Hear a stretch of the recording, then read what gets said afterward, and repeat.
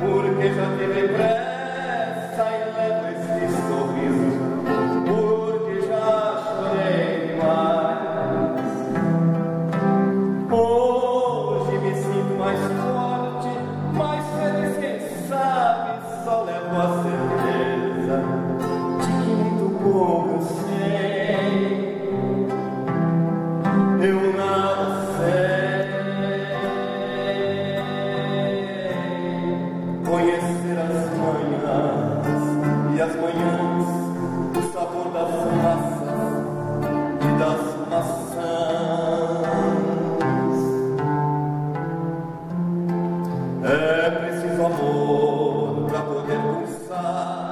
é preciso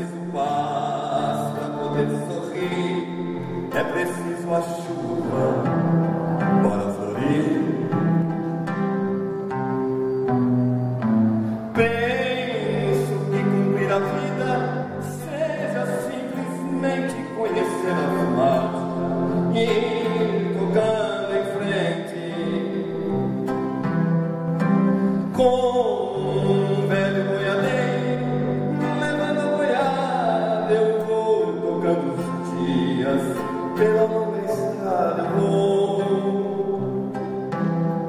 Estrada eu sou, conhecer as manhãs e as manhãs, o sabor das massas e das maçãs. É preciso amor para poder pulsar, é preciso é preciso a chuva para florir. Todo mundo dia, todo mundo chora, um dia a gente chega, o embora. Cada um de nós compõe a sua história e cada ser carrega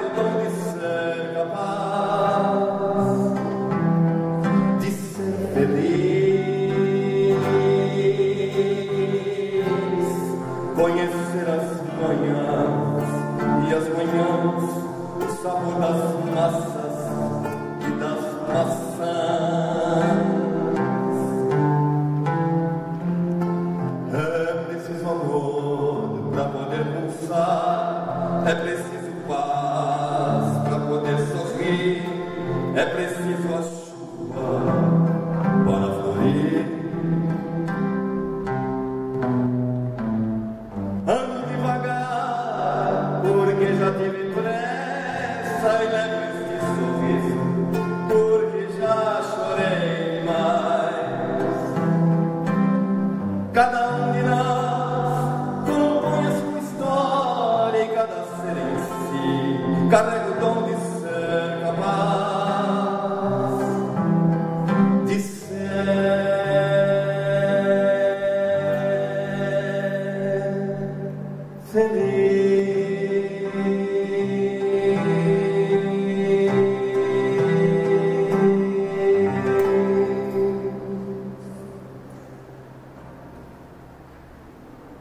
Queridos irmãos, já passados mais de 25 séculos da vinda da doutrina de Sócrates, mais de 20 séculos já se passaram da vinda da doutrina do Cristo e 160 anos da chegada da doutrina espírita. Se nós fizermos uma simples observação de nós mesmos e da sociedade em que nós vivemos, essa observação vai nos mostrar que as criaturas ainda estão carentes de paz, estão carentes de afetividade, de conhecimento de si mesma, estão carentes de autoestima, de respeito mútuo, de bondade e, sobretudo, de honestidade. E ainda das demais virtudes que ainda estão na expectativa do momento adequado para poder serem desenvolvidas. Nós podemos dizer, queridos irmãos, que a vida da maioria de nós ou de grande parte de nós, tem sido como uma fila indiana. Todos sabem o que é uma fila indiana. Uma fila indiana é um andando atrás do outro. E cada um carregando uma sacola na frente e a outra sacola atrás. Na sacola da frente, nós guardamos as nossas qualidades, guardamos as nossas virtudes. Na sacola de trás, guardamos as nossas imperfeições, guardamos os nossos defeitos.